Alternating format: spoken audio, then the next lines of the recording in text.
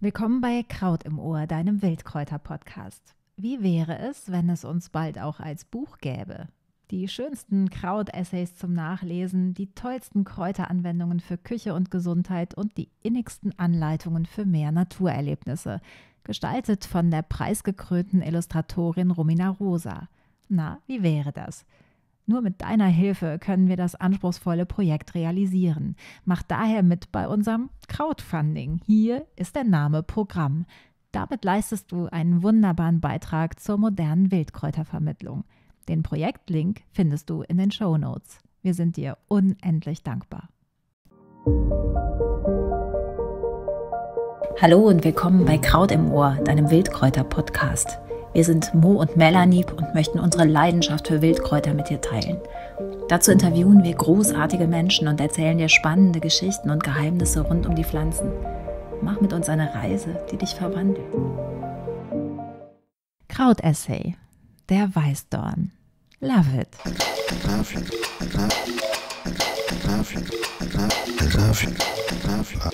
Er krallt sich in dein Herz und wenn er seinen Dorn einmal in dein Innerstes geritzt hat, bleibt dir seine Wirkung sicher erhalten.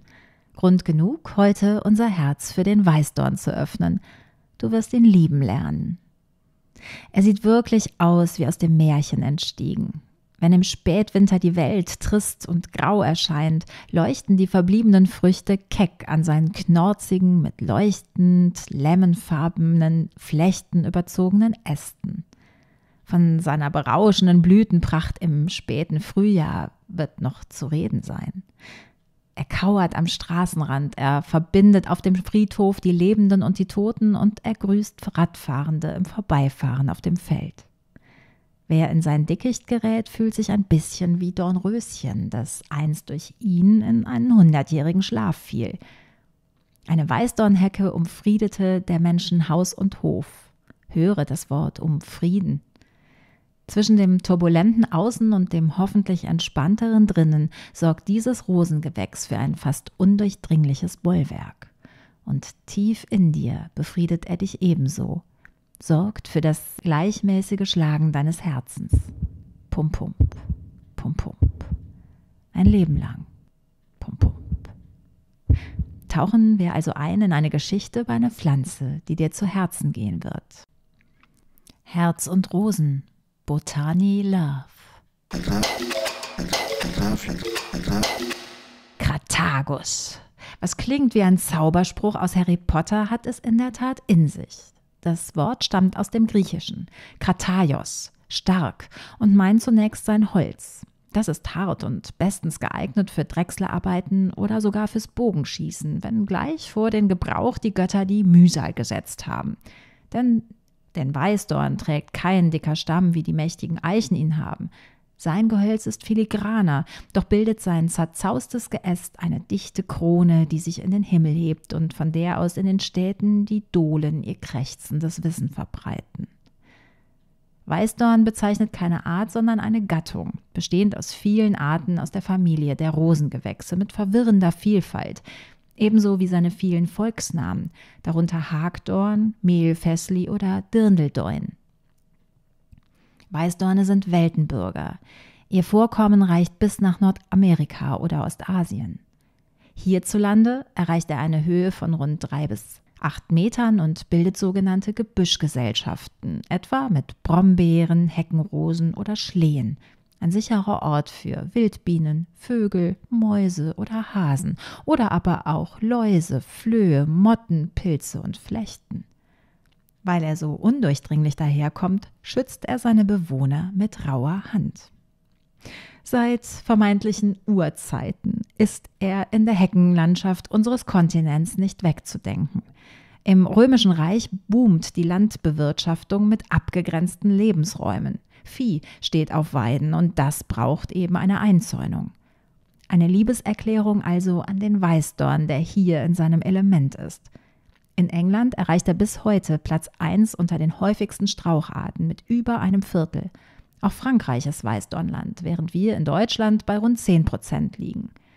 Das älteste bekannte Crategus-Exemplar ist über 700 Jahre alt und steht im englischen Norfolk. Weißdorn wächst an den Übergängen, an diesen seltsamen Nichtorten zwischen hier und da, zwischen Park und Straße, zwischen Wald und Feld, zwischen Haus und draußen. Prägte er jahrhundertelang unser Landschaftsbild, muss er vor allem in Mitteleuropa ab der Mitte des 20. Jahrhunderts den großen Landmaschinen weichen. Feldbegrenzungen sind da nur hinderlich. Viele wertvolle Naturräume verschwinden. Tja, und wenn da und dort tatsächlich wieder ein Wolf aus dem Gebüsch springt, fehlen die einst sinnvollen Weißdornhecken, die unsere Schafe umhegten. Er kommt uns ganz strubbelig vor, formt bizarre Verästelungen, so wie unsere Adern sich im Körper verästeln. Wer mag, sieht hier eine Analogie zum Blutkreislauf, was die rote Farbe der Früchte noch unterstützt. Wie Mini-Herzen reihen sich auch die Knospenansätze wechselständig wie rote Perlchen um die Äste, also im Frühjahr. Und wisse, das stimmt. Nunmehr blicken Heilkundige verstärkt auf die Knospen. Die Gemotherapie ist in den letzten Jahren buchstäblich aufgeblüht. Die Knospen helfen wie die gesamte Pflanze bei Herzerkrankungen, auch auf psychischer Ebene. Dazu hören wir gleich mehr. Aber wir merken schon jetzt, Herz rot. Rot wie Blut, rot wie das Herz, rot wie die Rose, aus deren Familie er eben stammt, die ihre Schönheit durch perfide Abwehrstrategien zu verteidigen weiß. So finden wir an den jüngeren Trieben rund ein Zentimeter lange megaspitze Dornen gegen Fressfeinde und unbedachte Hände, die nach ihm greifen. Hier setzt er erbarmungslos seine Stichwaffe ein und so wundert es nicht, dass er umso dichter wird, je häufiger wir ihn beschneiden oder je mehr Tiere an ihm knabbern. Und wie war das mit der Schönheit? Die Hälfte des Jahres mimt er doch den abweisend Undurchdringlichen. Oh, weit gefehlt. Wie immer hat die Natur eine dicke Überraschung im Gepäck. Im späten Frühjahr, so bis Mitte Mai, lässt die Natur es noch einmal so richtig schneien und beschert ihr einen wahren Romantikrausch. Love is in the air. Die Blütenpracht des Weißdorns ist der Hainun des Frühjahrs, die Hochzeit von Maibräuten, ganz gleich, ob wir sie mit der Jungfrau Maria, der keltischen Maid Blodewett oder einer hiesigen Schützenkönigin assoziieren. Für kurze Zeit ist Schneeweiß die dominante Farbe. Die üppigen, hellen, perfekt mit fünf Kronblättern geformten Blüten sehen aus, wie ein Wedding Planner es sich nicht fantastischer hätte ausdenken können weiße Wölkchen, die alles Übel von dir fernhalten, rosa gepunktet mit Staubgefäßen und ein bis zwei Griffeln, aus denen sich später ein oder zwei Kerne in der roten Frucht entwickeln. Wir sprechen von ein- oder zweigriffligen Weißdornen. Der eingrifflige hat also nur einen Kern, der zweigrifflige hat zwei Kerne später im Jahr. Diese Blüte übrigens nicht verwechseln mit der viel früheren Blüte des Schwarzdorns bzw. der Schlehe, die sich schon im März ganz in Weiß hüllt. Der Weißdorn hat im Übrigen eine helle Rinde, ganz im Gegensatz zum Schwarzdorn, der dunkel daherkommt. Der Schwarzdorn mag übrigens seinen Bruder überhaupt nicht. Pflanzt man die beiden nebeneinander, zieht der Schwarzdorn den kürzeren. Anton von Perger verrät in seinen deutschen Pflanzensagen, Zitat, der Schlehenstrauch heißt wegen seiner dunklen Zweige auch Schwarzdorn und hegt eine so große Feindschaft gegen den Weißdorn, dass er in dessen Nähe verdorrt. Wenn also Schlehenholz zu bösem Zauber benutzt wurde, konnte dieser leicht durch Weißdornzweige gehoben werden. Das also dazu. Bleiben wir noch kurz bei der optisch opulenten Blüte des Weißdorns. Sie riecht nun nach fettem Sex, Love is in the air. Meint hier nach Vaginalsekret und Ejakulat, leicht fischig. Weil da ist Trimethylamin drin, was in den benannten Körperflüssigkeiten ebenfalls zu finden ist. Dieses Amin ist eine Ammoniakverbindung und taugt zwar nicht zum Aphrodisiakum, weil es nicht auf die Hormone wirkt, doch irgendwie turnt es uns eben an. Liebe ist auch ein Gedankenspiel. Und eine Erinnerung, wie wir in Marcel Prousts berühmtem Opus auf der Suche nach der verlorenen Zeit lesen dürfen. Zitat. Aber ich mochte mich noch so lange vor dem Weißdorn aufhalten, ihn riechen, in meinen Gedanken, die nichts damit anzufangen wussten, seine unsichtbaren, unveränderlichen Duft mir vorstellen. Noch ein Funfact dazu. Wer die eben wenigstens wunderbar aussehenden Blüten im Salat als Deko verwenden möchte, träufelt etwas Zitrone ins Dressing. Das verwandelt wie durch Zauberhand das Amin in eine Köstlichkeit, was übrigens der Grund dafür ist, warum auch Fische oft mit Zitrone serviert werden. Doch zurück zu den Blättern, die der Weißdorn vor der Blüte ausbildet.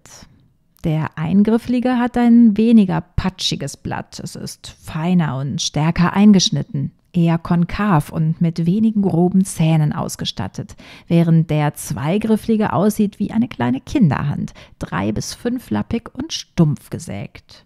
Die Blätter sind dunkelgrün und glänzend.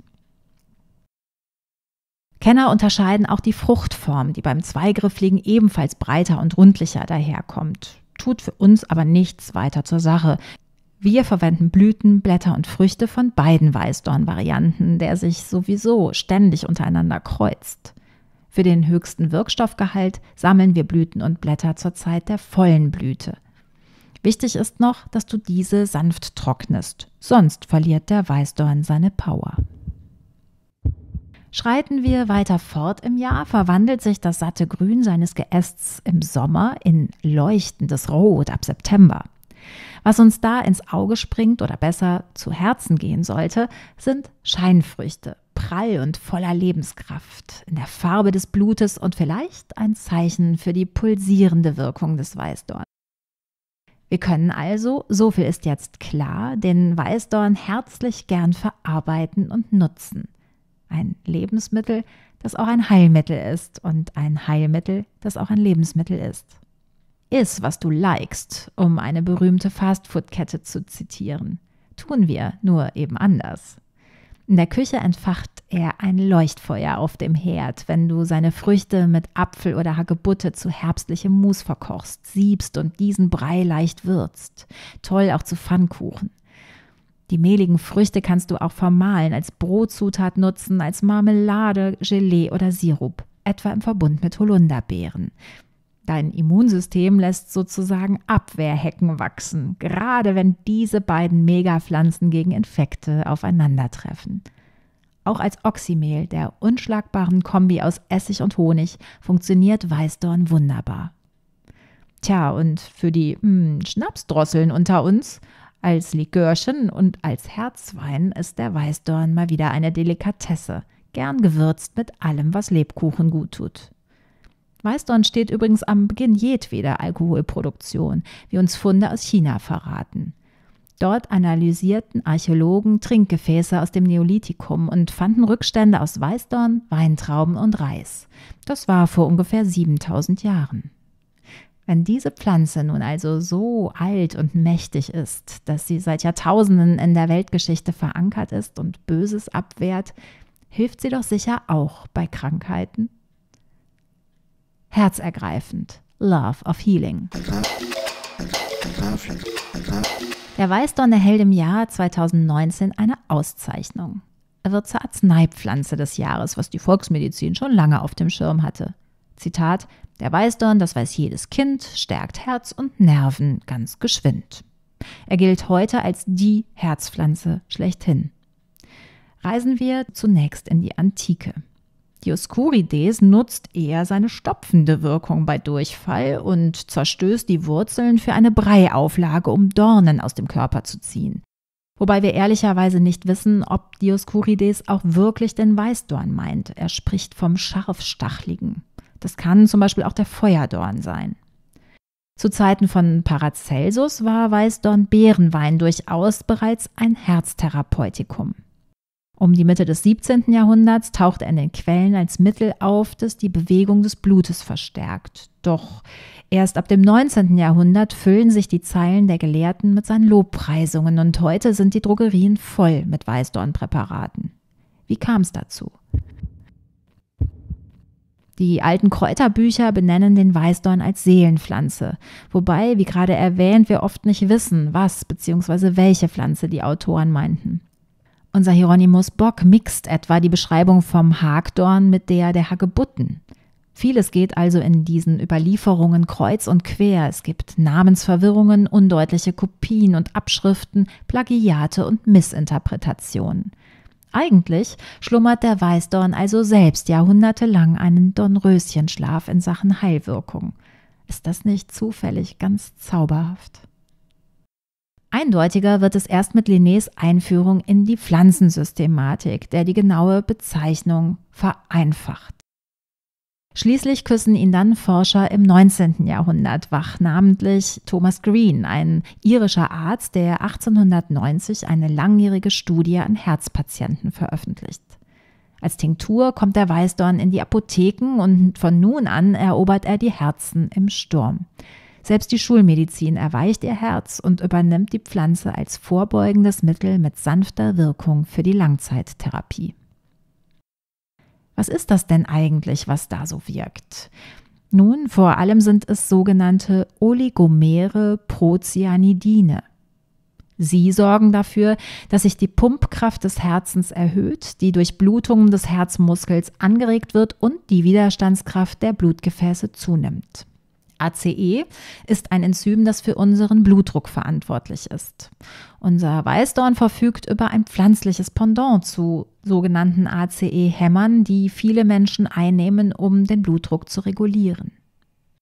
Außerdem verfügt er über Flavonoide wie Quercetin oder Hyperosid, die sind krampflösend und entzündungshemmend.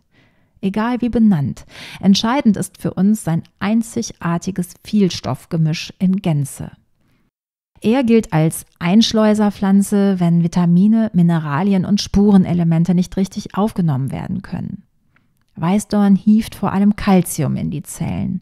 Noch kaum erforscht ist seine komplexe Wirkung für die Funktion der sogenannten Natrium-Kalium-Pumpe, die den Calciumtransport in die Herzmuskelzellen bzw. Muskelzellen generell unter anderem verantwortet. Kurz, er umrankt dein Herz wie eine schützende Hecke. Eine weitere Besonderheit ist, dass Weißdorn die wahre Zuwendung in seinen Adern hat.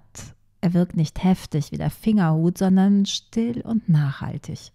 Mit ihm im Blut sagst du Ja zum Leben und zur Liebe, wie auf der blütenbegrenzten Hochzeit, die er im Frühling mit uns feiert. Und aus diesem Grund ist er das Herz Ass für den modernen Menschen. Herz-Kreislauf-Erkrankungen sind heute die häufigste Todesursache in der westlichen Welt. Sie sind die Zutat der Industrialisierung, die uns das Phänomen beschert, das wir heute Stress nennen.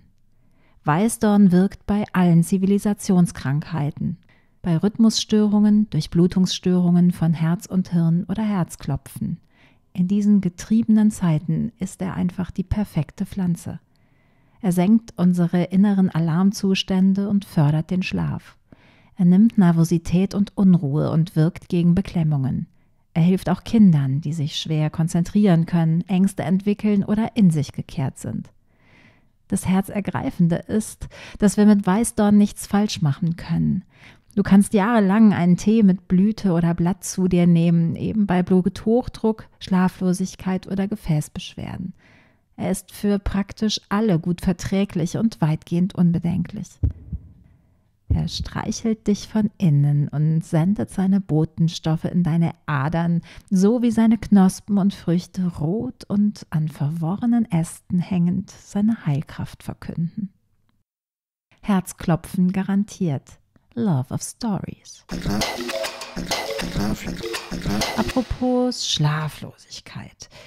Da legt man sich am besten unter den Weißdorn, der uns behütet, denn er regeneriert uns. Als alte Schutzpflanze lässt er allen Schadenszauber abprallen, sodass wir sicher und beruhigt unter ihm schlafen können. Er lässt vielleicht sogar etwas in uns reifen. Wer schläft, sündigt nicht, sammelt Kraft, füllt sein Herz mit Liebe an und hart der Dinge. Weißdorn schützt vor Eindringlingen, ebenso wie vor Dämonen und Geistern. Gern wohnen Hellsichtige in seinem dichten Geäst. Wir erinnern uns des Wortes Hagezussa, die, die auf der Hecke sitzt und von der sich das Wort Hexe ableitet. Sie hockt scheinbar gern im Weißdorn, wie wir da und dort lesen dürfen. Zurück zum Schlaf. Es wird viel die Augen zugemacht in der Kulturgeschichte. Odin nahm einen Hagedorn und stach ihn Brunhild ins dritte Auge. Sie ruhte tausend Jahre. Oder folge mir in den Zauberwald von Brocéliande in der heutigen Bretagne, wo die herzergreifende Geschichte zwischen dem Zauberer Merlin und der Fee Viviane spielt. Sie möchte der magischen Fähigkeiten des weißen alten Mannes teilhaftig werden und ihn auf Dauer an sich binden. In seiner blinden Liebe zu ihr verrät er den Zauberspruch dafür. Und als Merlin in ihrer Umarmung unter einem blühenden Weißdornstrauch einschläft, vollzieht sie diesen Zauber, indem sie den Spruch neunmal wiederholt und Merlin neunmal dabei umkreist. Seitdem ist er an diesem Ort gefangen und von der Außenwelt abgetrennt. Viviane ist die einzige, die ihn sehen oder besuchen kann. Merlin wartet unter eben jenem Weißdorn auf ein neues Zeitalter. Und natürlich das vielbeschworene Dornröschen.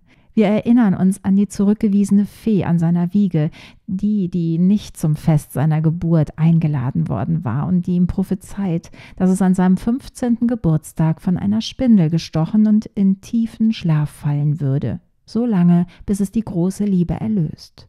Diese Spindel soll aus Weißdorn gewesen sein.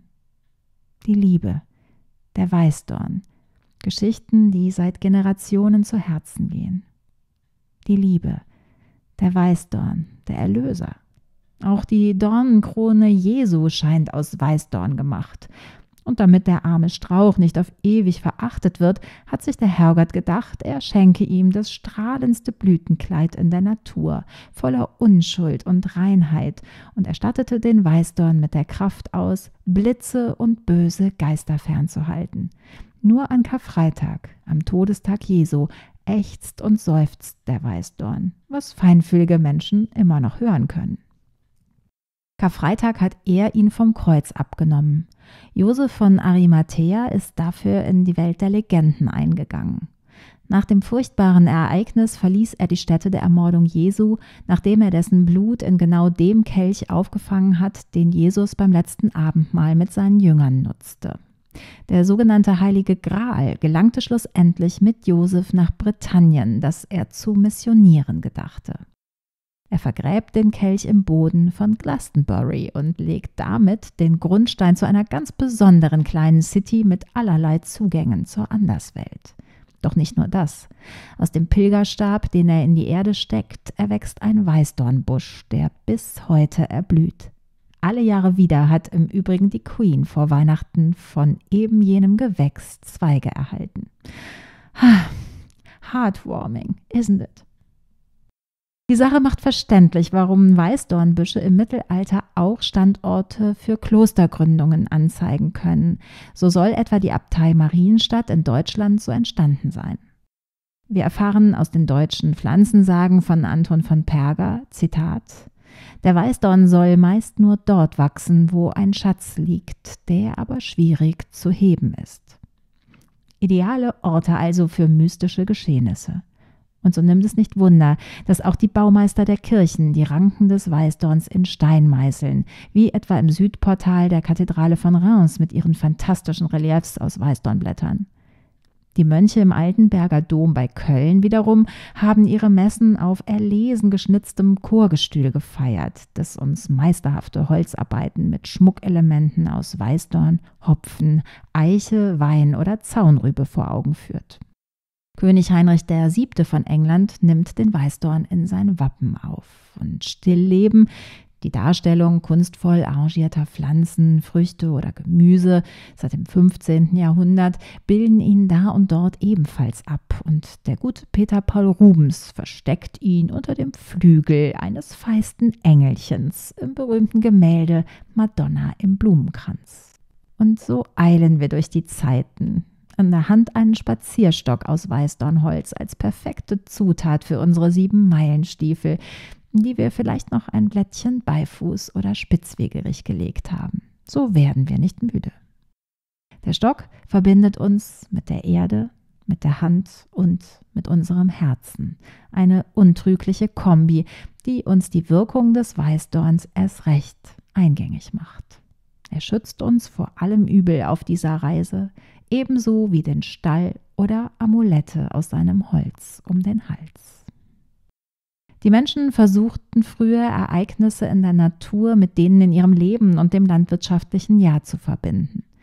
Pflanzenorakel verraten uns da manchmal mehr. Lege in der Walpurgisnacht zum 1. Mai einen Weißdornzweig unter dein Kissen, an den du einen Wunsch gebunden hast. Und wer weiß, vielleicht erfüllt er sich. Oder trägt der Weißdorn viele Blüten, ist mit einer guten Ernte zu rechnen, so sagt man. Oder wenn der Weißdorn blüht im Hag, wird es Frühling auf einen Schlag. Regeln, die jahrhundertelang Zeichen gewesen sind und jetzt in Zeiten neuer Wetterkapriolen auf dem Prüfstand stehen. Und zuletzt Allmächtiger. Der Weißdorn erobert das Weltall. Als erster und bislang einziger Österreicher im Weltraum ging Franz Viehböck als Astronaut in die Geschichte ein. Er startete 1991 ins All mit an Bord eine ganz besondere Jacke, die mit Sensoren aus Weißdorngehäusen ausgestattet war, weil man die Herz-Kreislauf-Tätigkeit in der schwarzen Unendlichkeit untersuchen wollte. Mit dem Herzen sehen, just love. Was für ein Kosmos, den wir da entdecken dürfen. Was für ein Universum voller zu Herzen gehender Stories, durch die der Weißdorn stetig den Fluss der Zeit pumpt erinnern wir uns zum Schluss noch an den Fuchs im berühmten Buch Der kleine Prinz von Antoine de Saint-Exupéry. Man sieht nur mit dem Herzen gut. Das Wesentliche ist für die Augen unsichtbar. Meine Grundschullehrerin hat mir diesen oft zitierten Spruch ins Poesiealbum geschrieben und ich habe ihn lange nicht verstanden. Wie sehr er uns das Wesen des Weißdorns verrät, habe ich überhaupt erst jetzt im Ansatz begriffen. Daher noch ein Wort von dem und zu dem, was da unsichtbar alles wirkt. Wir haben bis hierhin mitverfolgt, dass der Weißdorn ins Herz geht.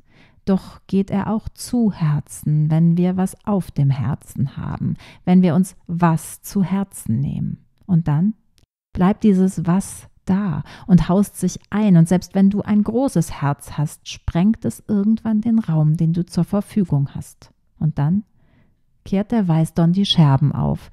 Er heilt auch gebrochene Herzen. Er begleitet dich, wenn du viel Herz in Menschen oder Dinge investierst, und er hilft dir, dich abzugrenzen. Wie eine Hecke umrankt er dein pulsierendes Organ, pumpt Lebenskraft durch deine Adern, löst Blockaden und Verdichtungen, und genauso hilft er dir dabei, runterzufahren, den inneren Rechner mal auszumachen. Wer seine Beeren verräuchert, bei dem klopfen Mut und Stärke an die Tür. Seine Dornen reißen Schafen die Wolle aus. Dornen sind ein Zeichen für die Mars-Signatur des Rosengewächses. Marspflanzen stärken, wenn es Not tut, und beruhigen, wenn es Sinn macht. Sie fahren ihre Krallen aus, um dich vitaler und energiereicher zu machen.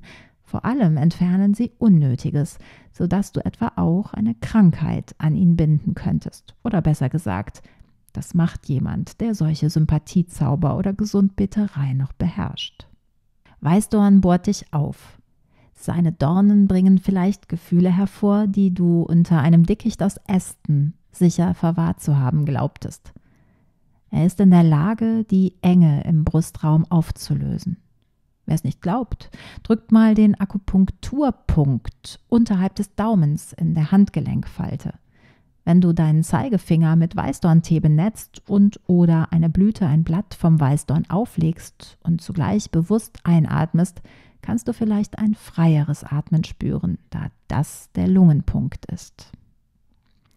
Und dann, dann schläfst du vielleicht plötzlich gut, fällst wie unser Dornröschen in einen tiefen Schlaf. Die Alten nannten ihn daher auch den Schlafdorn. Weißdorn lässt die Seele zur Ruhe kommen. Herz und Seele, das war lange eins. Hildegard von Bingen sprach vom Herzen als Heimat der Seele. Sie glaubte, dass unser Herz unsere Gedanken formt. Das Herz als Sitz der Anima. So sehen es viele Kulturen. Paracelsus dachte ähnlich. Zitat: Wisset nun ferner vom Sitz und der Stätte der Seele, dass sie im Herzen sitzt, mitten im Menschen. Und ja, so darf man vielleicht zum Schluss zaghaft fragen: ist es nicht seltsam, dass je mehr wir dem Herzen seine Seele rauben, es umso häufiger krank zu werden scheint? Und ist es nicht seltsam, dass des Weißdorns Wirkmächtigkeit erst in dem Moment entdeckt wurde, in dem die Dampfkraft der Industrialisierung mit ihrem Diktat der permanenten Taktung allen Lebenssaft aus den Menschen presste? Und so entdecken wir also unser Herz für diesen kauzigen Gesellen auf den ersten Blick rau, herb und abwehrend, wenn nicht Frühjahr ist. Wir sind in Love mit dieser Pflanze, die mitten ins Herz geht die unseren Blutkreislauf im Fluss hält und es uns ganz leicht ums Herz werden lässt, die uns das pralle Leben spüren lässt. Mach Weißdorn zu deiner Herzensangelegenheit. Love it. Das war ein weiterer Kraut-Essay in deinem Wildkräuter-Podcast Kraut im Ohr. Wenn du liebst, was wir tun, dann like uns und abonniere unseren Newsletter. Unsere Essays erscheinen jetzt auch als Buch. Das ist mega aufregend und geht nur mit deiner Unterstützung. Daher herze uns auch in unserer aktuellen Crowdfunding-Kampagne. Mehr dazu in den Show Notes. In diesem Sinn, ganz viel Liebe für uns alle. Deine Mo.